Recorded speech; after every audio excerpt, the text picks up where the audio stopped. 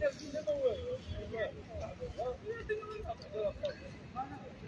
you.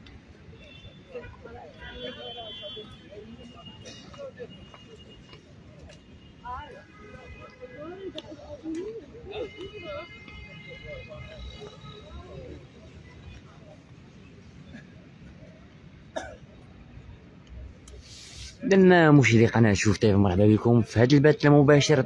القضية اللي دارت ضجة في منطقة حمول رشيد. يعني شاب اللي مشى باش يدير الحجامة.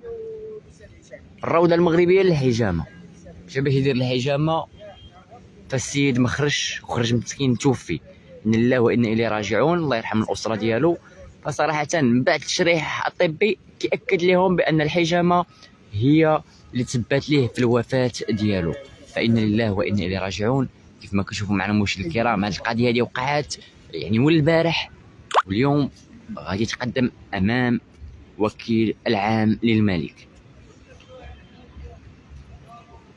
يعني الشخص هذا اللي كان عنده مركز الحجامة في حي مولاي رشيد مشي عندو الشاب وكيستقبل مجموعة من الناس مشي عندو شاب باش يدير الحجامة.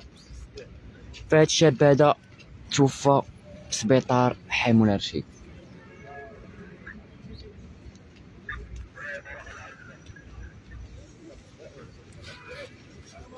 مال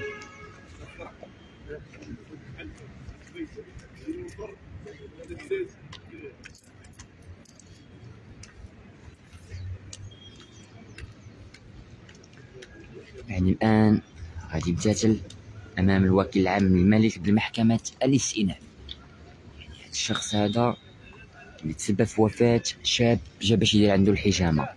واش كيكونوا دورات تكوينيه كيمشي بنادم يدير دورات تكوينيه اللي مثلا فيها شهرين ويجي لي يدير لك الحجامة ولا شهر ويجي لي يدير لك الحجامه فصراحة راه خاص هادشي خاصو قرايه هادشي راه علم. راه ماشي آجي راك كتشرط في الناس وكتقيس لهم في, اللحم ديالهم. يعني راه هادشي خاصك تكون دكتور خاصك قاري تكون قاري الطب بعدا. أيضا خاصك تكون قاري كيفاش تقدم إسعافات الاوليه شخص في حاله خطر. أو السيد دخلك الحاله خطيرة. ما قدرتيش تعالجو ولا ما قدرتيش تقدم ليه هذه المساعدة. فصراحة أنا خاص مراقبة لهاد الأشخاص اللي كيديروا مراكز للرقية أو الأشخاص اللي كيديروا مراكز للحجامة. يعني خاص مراقبة. كاين بنادم اللي ضارب الحبس خرج من الحبس دار مركز للرقية. دار مركز للحجامة. فصراحة هذا الشيء عيب وعار.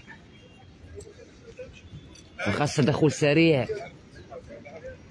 للجهات المسؤولة. واش غير آجي وحل المركز. واش غير آجي. ما خدامش كتمشي تحل المركز وتقول لهم حق ندير الرقية. راه كاينين صراحة أنا ما كنعممش ولكن أغلبية كلهم نصابة. أغلبية نصابة. الاغلبيه نصابة. الراقي راه هو هذاك المتخفي اللي ما كيبانش. ما كيبان في مواقع التواصل الاجتماعي ما كيبان حتى شي حاجة.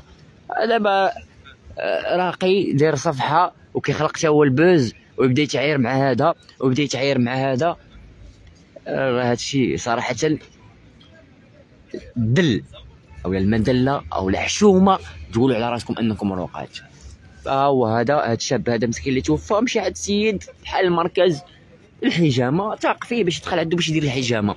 باش عرفوا واش عنده ديبلوم واش قاري على هذا الشيء المعلومات اللي وصلتنا ان هاد السيد هذا عنده شي دورة تكوينيه يمكن فيها شي شهر ولا ما عرف شهرين. ها هو تسبب في وفاة هاد الشاب ها هو ضيع على والديه ضيع المستقبل ديالو مجموعة من الأمور. صراحة هاد الشيء لا يعقل. هاد الشيء لا يعقل. خاص تدخل سريع الجهات المسؤولة ما خاصناش نبقاو ساكتين. واش متفقين معايا ولا لا؟ واش هادشي اللي كنقول الصراحة ولا ماشي صراحة؟ واش غير أجي حل مركز الحجامة ولا مركز الرقية بقات نصاب ليا على بنادم بقات تكشمط ليا في بنادم. لا إله إلا الله ياخذ الحق وصافي. أو هاد الشاب هذا مسكين توفى بسبب الحجامة. ما مريض ما حتى شي حاجة. ما مرض عالجوه والديه. والديه هزوه في السبيطارات جراو به وكانوا عارفين وتسامحوا معاه. والو نهائيا. السيد مشى يدير الحجامة عادي جدا. توفى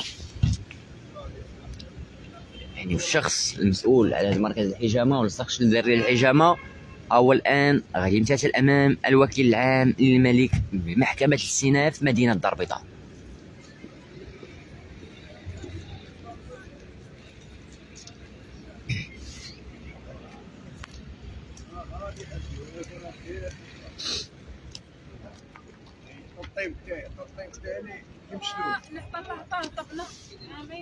درنا مشاهدينا الكرام بقاو معنا باش نزودكم معلومات أكثر حول هذه القضية ديال وفاة شاب بمركز الحجامة منطقة حي مولاي رشيد المسيرة واحد.